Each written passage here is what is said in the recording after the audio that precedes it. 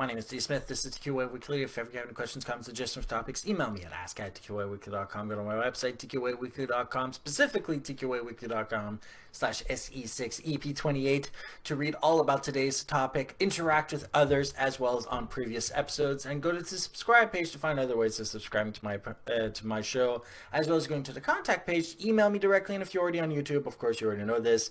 The comments box is down below, and if you want to make this show better, go to patreon.com slash TQA Weekly. You can read up on it, listen to the videos I posted on it, and of course, get this show 24 to 48 hours in advance of everyone else. Today's topic is submitted by CardFan hyphen YouTube, an or contributor to the show. Thank you. He also contributed to next week's topic, but this week we're talking about false positives versus false negatives, and I want to make sure that you are no longer lulled into a false sense of security when you scan your computer with antivirus, anti-spyware, and anti-malware software by explaining what the difference between false positive versus the false negative is. For those who want a very basic definition, think of it this way as a pregnancy test. A false positive is when you think you're pregnant and you're not, and a false negative is when you think you're not pregnant and you are. That is the most simple way of explaining it. But now back to technology. When you are scanning your computers and your devices to make sure they are void of viruses and spyware, normal users tend to believe that antiviruses and anti-spyware can detect everything made by malicious hackers. In my sources, I have one link. I want you to go there. It's AV Comparatives. It's the tool that I use to explain to people which antivirus software was better than others to help them make a better purchasing decision. I would also indicate that it changes every three months and it can change in one day. In 2013, there was 82,000 new viral malware threats unleashed onto the internet per day. If that sounds like a lot, by April 2015, it was over a million new malicious threats put out per day.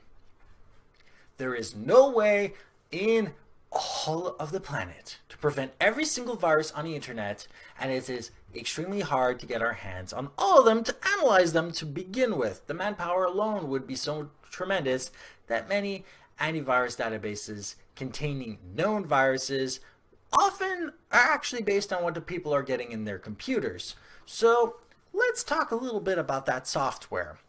Antivirus software uses heuristic scanners, and heuristics is actually a form of artificial intelligence that uses mathematical optimization in order to solve problems. Applied to an antivirus, anti-malware, and spyware database, though, it allows for a signature database to be used to determine new variants of known strains, as well as using known behavioral techniques of these kinds of applications to detect their presence in an operating system.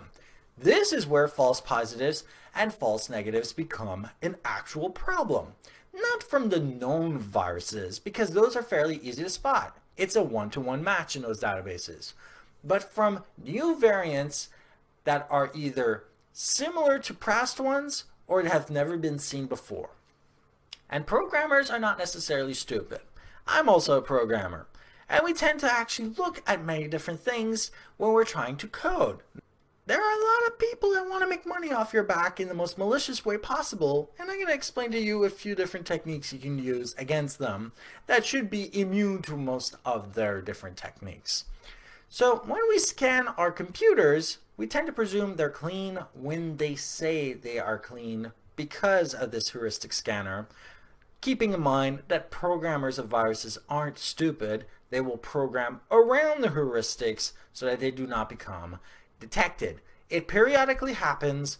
Various files, like in my case, game files, have been actually detected and flagged as viruses. Antivirus software, anti-malware, and anti-spyware, not quite that stupid. You can actually tell them it's not a virus. We'll send sample code and we'll fix the database.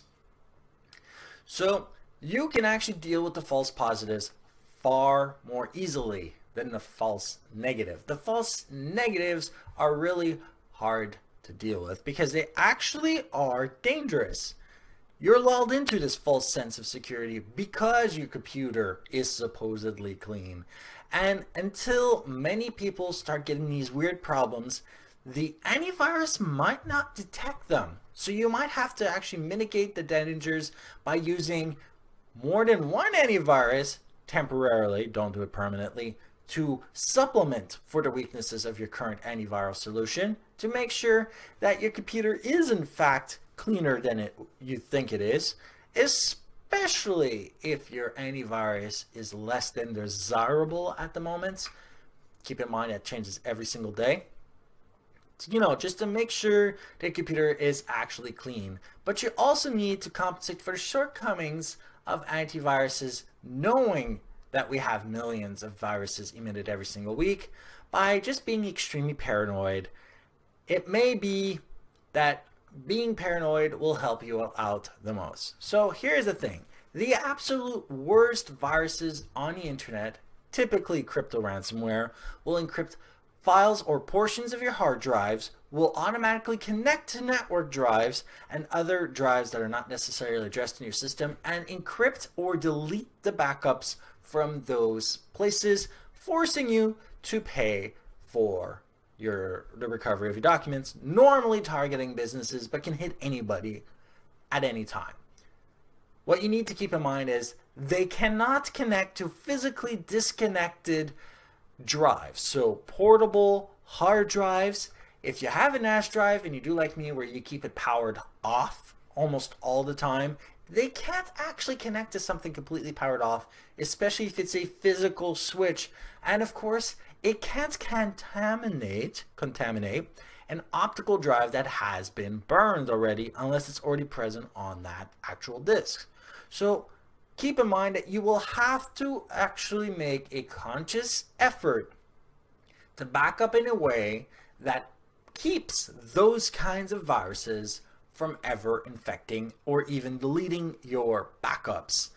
Because whether your antivirus says you are clean or not, it does not mean that you are actually, in fact, clean. Don't open attachments. Don't go into strange websites. If you're scared about it, use AdBlock, but only use AdBlock on places that you do not trust. And of course, don't forget to subscribe to the show. Like, dislike, and leave a comment down below if you had any bad experiences whatsoever. And if you want to see me playing Batman, I have about 14 hours of gameplay that I have done this week. I'm going to be uploading soon the next seven hours that I streamed onto Twitch, there will be a card somewhere on this video. Otherwise, go to tqaweekly.com and watch the video there if you downloaded it so you can actually see the card. So have a great day.